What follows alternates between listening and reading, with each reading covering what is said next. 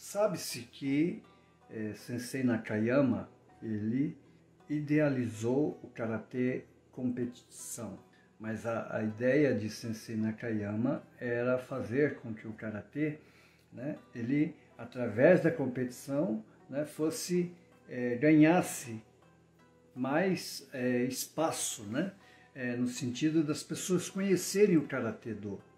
Então criou-se o karatê competição.